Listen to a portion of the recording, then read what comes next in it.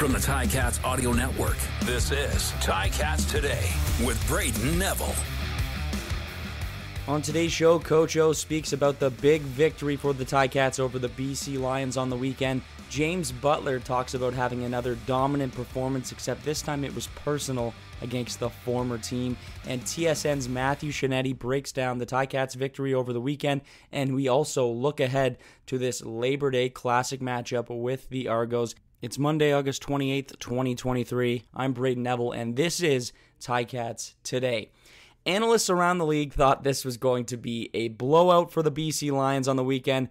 Betting lines had them at a 10.5 favorite, but no, no, no. The Ticats were not having it Saturday night.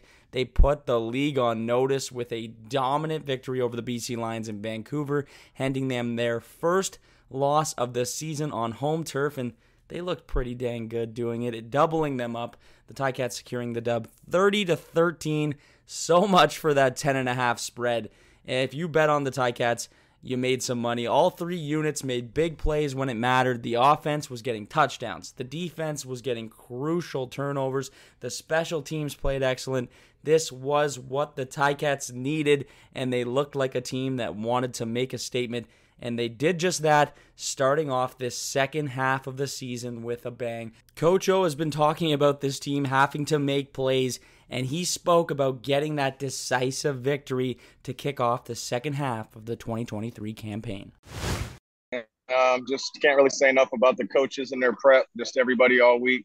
Uh, this was a complete organizational win. Made a cha- decision to come out uh, a little bit early after practice.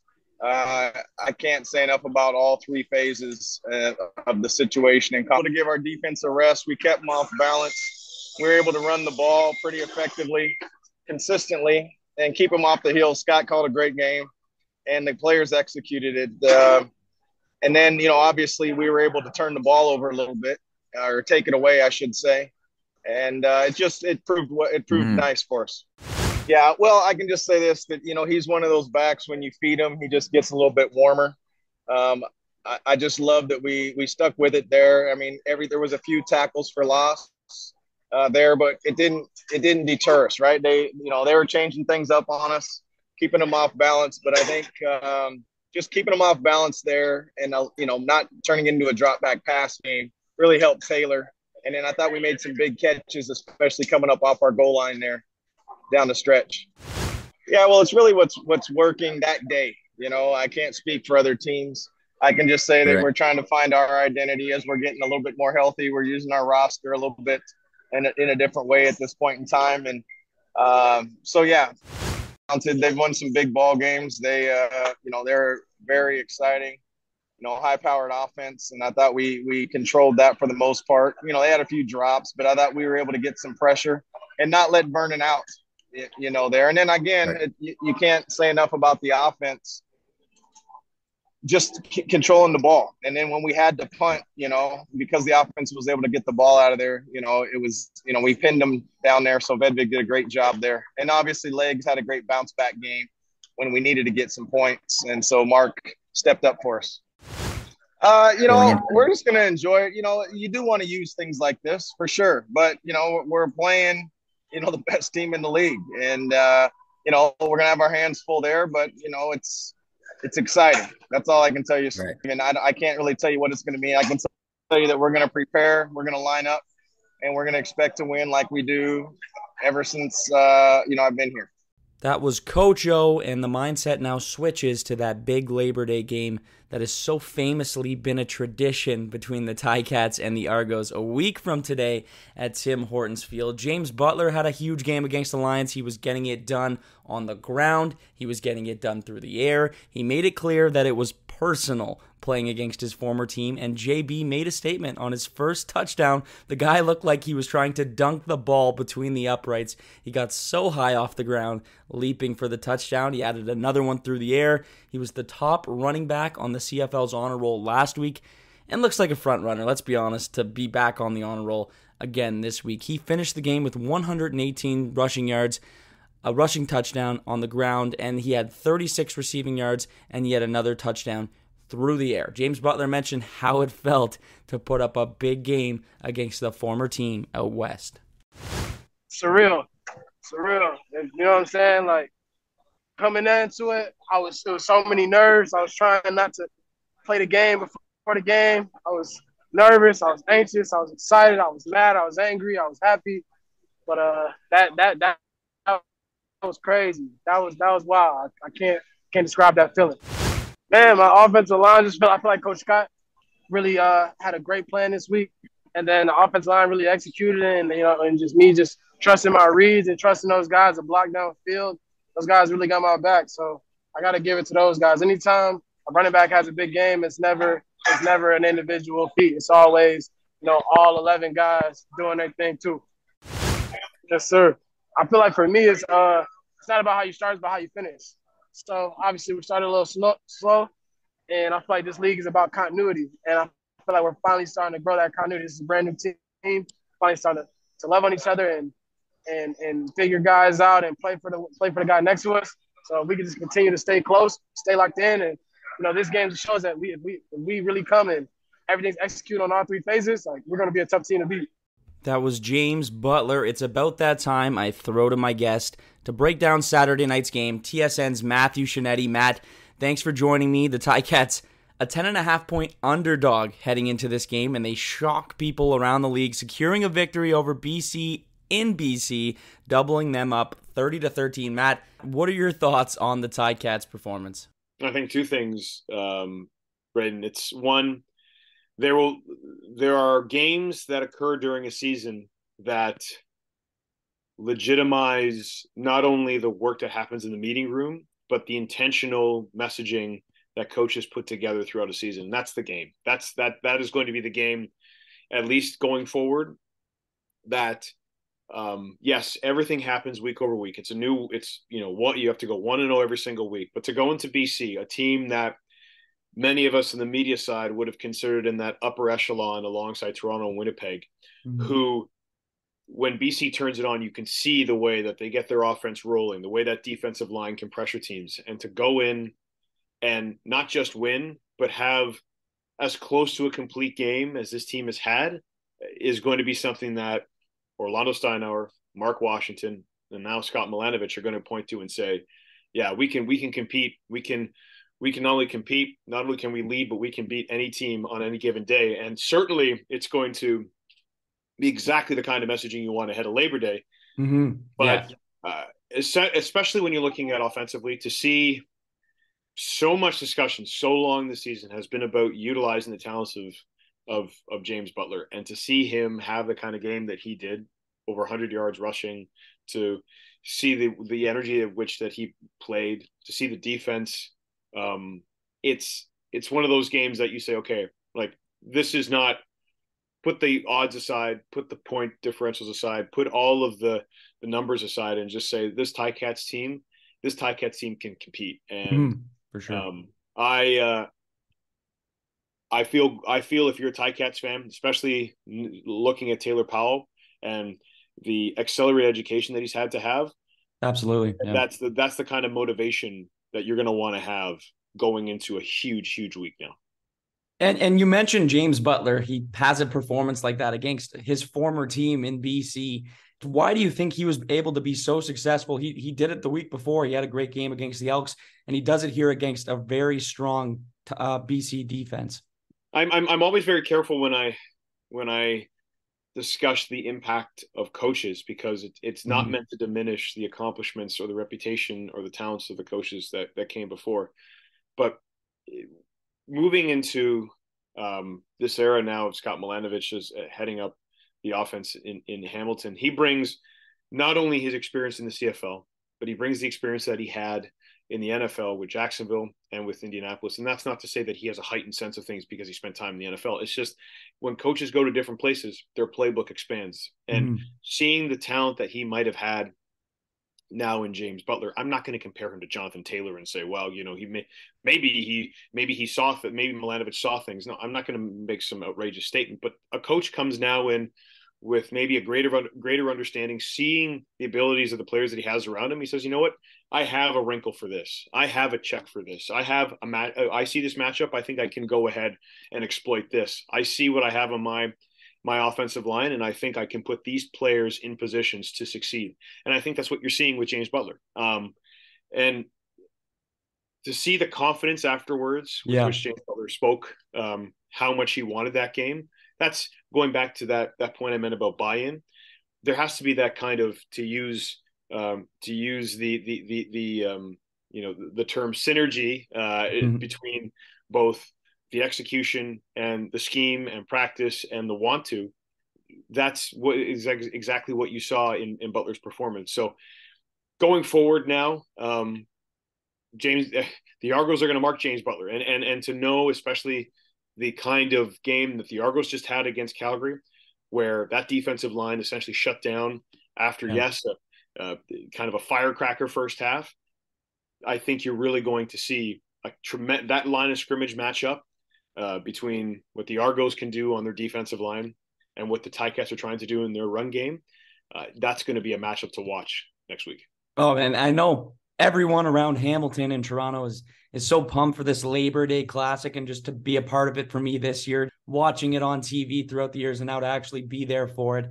I, I mean, it, it, I know it's a week away, but we've been thinking about it all season. Another guy who played excellent, Taylor Powell. He comes out in this game. He just looks so much more comfortable. Do you think that's a lot to do with the Scott effect, or, or is it him coming into his own here in the league?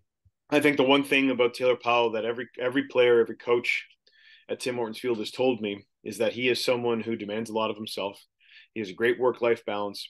He has a greater sense of things outside of football, but he wants to win and he wants to compete. And when his pads are on, when his helmet is on, or when he has the notebook in the meeting room and in the film room, he wants to compete and he wants to win and he wants to get better. He has said it over and over and over again. And I remember kind of asking him, um, there's that humility with him as well. I, I asked him on air, if he felt like a bit of a veteran with all the things, all the changes, all the things he's had to learn on the fly. And he goes, well, that might be a bit of a strong term, but I don't think it's, I don't think necessarily that it's out of the realm of, of, of, of really being something that to describe the last few weeks for him because he's had to act like a veteran because he yeah. hasn't had time to sit down and be like okay well you know i can i can take this learning i can take this lesson he's had to deal with the situation where he's coming into a team that has had unfortunate injuries especially at the quarterback position that there is an expectation, whether you want to call it expectation or pressure, whatever it is. Like Hamilton this season, the Ticats want to win because they're hosting yeah. the Grey Cup because because that that pursuit of the Grey Cup trophy is is such a profound motivating factor in in the city. And Taylor Powell has come in and he has a composure about him that you can't deny. Scott Milanovich said the same thing. And when you pair a young quarterback like that who has the want to, desire, and the abilities with a coach like Scott Milanovich, to say nothing of certainly what he what he had under Tommy Condell, who who Taylor Powell was very, very effusive about when talking about the, the impact he's had with Orlando Steinauer, with that with that quarterback room with Matthew Shiltz and, and Bo Levi Mitchell. You have a quarterback who has such a self-awareness that he's going to get better. Mm-hmm. That he's going to to take the little notes. He, he said it to he said it to myself, and I know my colleague Farhan Lalji also on the weekend that he's going to want to look at every single game for what it is and say, okay, I can be better here. This little detail, I can be better there, and that's the kind of approach mentally, but also physically that Scott Milanovich is going to love because I watched him with Trevor Harris and I watched him with Zach Collaros and I watched him with guys who have a desire and a want to. Every mm-hmm. quarterback is different. Every approach is different. Every personality is different. But you have to have that desire and want to. And knowing Scott Milanovich as I do as a coach, to say nothing of Orlando Steinauer, when they see guys who have that buy-in desire, that's a leadership quality that they know even for a young quarterback, that's just going to trickle down to the entire team. And for sure, you have to feel good for, for Taylor Powell coming into that game, uh, knowing that certainly a lot of a lot of people were not expecting that result. No, for him yeah. to come out for him to come out with a win, and to to bridge it to your point about Labor Day, things are different in Labor Day. Get ready for big time because there is nothing that that that that expresses the uniqueness of the CFL quite like Labor Day and quite like Labor Day in Hamilton. Um, it doesn't matter what the records are. It doesn't matter what's going on. That is as close to a college rivalry, Iron Bowl, Egg Bowl, near championship game atmosphere that you're going to get because there's this a desire in Hamilton that if nothing else doesn't matter what you do the rest of the 17 weeks that that game you beat the Argos and coming off of that coming off of that win the way that Taylor Powell was, you know, 18 for 23, over 200 yards, efficient, effective. Mm-hmm. That's the kind of game he's going to sit back and be like, "Yeah, no, I, uh, I know I can produce, and I have the confidence now to lead in a big moment." And I want to get to Labor Day in just a second, but I can't skip past the defense. Played excellent in that game and allowing BC to only get three points in the first half. What did you see from that group? It seemed like they were able to get turnovers, get stops, and we barely really saw that BC offense on the field. Yeah, when you look at when you look at the the post game report, you're going to see all the names uh, in terms of the tackles, in terms of the stats. I should say not the report, but the stats. You're going to see Simoni Lawrence, Richard Leonard, Tunde Adeleke, Jameer Thurman, Casey Sales, like all the guys that you want to lead, all the guys that you want to be first in contact you're going to see all those guys, and that's what you saw. And that's sometimes tackles can be sometimes tackles can be that kind of that that strange stat because you could tackle one yard or you could tackle 20 yards down the field but when you mm-hmm. when you know when you look at that score line you look at the tape and you know that your leaders on defense were the ones that were making the plays that's something that mark washington and orlando steinauer going to point to and say okay our if nothing else our guys at a critical time are leading and it's it's it's that overall theme that that that you want to to see out of the Ticats right now because it hasn't been the kind of season everyone was expecting. It hasn't no. been a great start to the season, but you come in the back half, you come into the last nine games, you come to that point of Labor Day, and if and if you see that kind of buy-in from your guys, you're going to you're again to to to overuse that word, that sense of confidence, that sense of self-belief, but no doubt about it, especially when I look at a player like Jameer Thurman. He yeah. plays and Casey Sales. These are two guys who are coming in being ticats who you know that they were going to fit in, but to see the performances that they had, especially Jameer Thurman, that's Jeez. that's a guy that that that that's a guy that you're going to go ahead and say, all right, he's a ticat. He's he's got he's got black and gold in him. Mm-hmm. Um, and, and and quite honestly, and what is likely going to be a slugfest, and and and also um, uh, there are going to be tremendous plays on both sides of the field. You can't you can't help but but feel confident uh, in every aspect of what the Ticats want to do because yeah.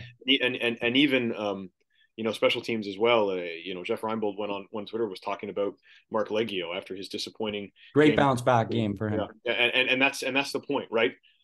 Every, all the all three phases. The Ticats come out of BC going, looking at themselves in the mirror after beating what what was perceived to be one of the best teams in the league, saying, "We won in their house. We beat them with the travel and the expectation, and everyone thinking that hey, if we lose this game, our season's over, and so on and so on." And now they go and they can face the Argos, and a win against Toronto changes the entire complexion of what the East looks like going into the fall. One last question, Matt how exciting you, you touched on it a lot there but just how exciting are these labor day games this rivalry between the argos and the ticats?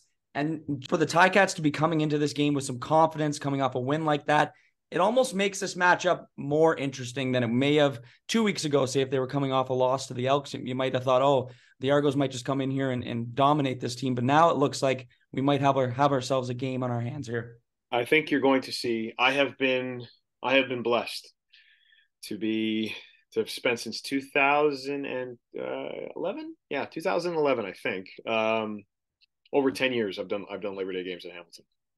And it is uh, as soon as you drive on nikola tesla and you come off and you see everybody in the and and it's it, the hairs are standing up on, on, on end when i think about it but you're driving towards barton mm-hmm. and you can see the tailgates happening. And it's like you know those people have been out there since 7 a.m if not earlier some people would yeah. you know the stories of people breaking into the parking lots just so they could this so they could start getting after her early on like that's that's what it is and and, and i implore you and, and anyone who's coming anyone who's listening to this yes the stadium is where you'll end up but walk the streets walk mm-hmm. melrose like walk around look look around the different homes and what it means to the people in, in the Stipeley to to to to to host not just one of the like one of the significant games in the CFL calendar. If you think about it in the tradition of Canadian slash American football, whether at this level, college level, NFL, whatever, it doesn't matter. This is one of these significant games. This is this is Absolutely. a history. This this is one of those. This is one of the games that you know they don't get everywhere in, in, in, in a place that you don't that it doesn't happen anymore. You know, we think about stadiums and big parking lots and and you know big tailgating, and that's all good. But to have a to have a game of such significance right inside a neighborhood where it has been for years and years and years and know there are people who have taken generations of their family generations of friends and and they celebrate that day whether it's you know argos suck and all of the color and the extracurriculars and the you know not safe for work words and yeah. thrown from the stands it does it like it's it's a significant moment but it, it's it, this season. I think it's going to be a special game, not only because of all the pressure I talked about with that that Hamilton has certainly put on their shoulders and they're facing this season. And maybe it's pressure from the outside, but I imagine those inside kind of feel it too, especially as you get closer to Labor Day. But this is a good Argos team. It's mm-hmm. a very good Argos team. Chad Kelly is is really making a push to become one of the faces of the league. He's certainly for the first nine, ten weeks has put himself front and center. I mean, this is a guy who literally stares at the camera every time I speak to him and goes, "Go Argos!" Like that's all, like that, that, that's what he says, and yep. he, he he he's bringing that. So if you're a Ticats fan, you have a villain, like you have someone that you want to beat because the Argos are that good. And if you're and if you're the Argos, you're looking at the Ticats going, you know, I look at Shawn Oakman when he came to Hamilton last time they played early in the season. He was wearing an Argos Grey Cup T-shirt mm-hmm. with Hamilton, harkening back to when they when the Grey Cup was in Hamilton in the mid '90s, and, and, and knowing that the Argos want to go back to back and they want to go back to back in Hamilton, like it's it. This is so cool. This is if if you're if you're not pumped up for this game, I mean, it's like like do you even have a heartbeat? Like yeah. this, this is how awesome this game can be, and yeah, I can't I can't wait. I, I and I and I and I consider myself for the job that I do the luckiest guy in the world to be able to know that that come three o'clock next Monday I will be on the sidelines at Tim Hortons Field watching the Lancaster bomber go over hearing the noise of an Oskee wee wee, mm-hmm. knowing that the Argos are going to be pumped up, knowing that there's going to be probably scuffles and fights and Argos stuck and all this and all this energy. Uh, like, like kick off right now. I'm ready to go. Matt, you just honestly, if you weren't fired up for this game before that speech you just gave right now, then you 100% are. Great breakdown. I am so psyched and I'm so pumped up to see you at the field next Monday. Matt Scianitti, thank you again for coming on the show today. Appreciate you, my guy. Appreciate you.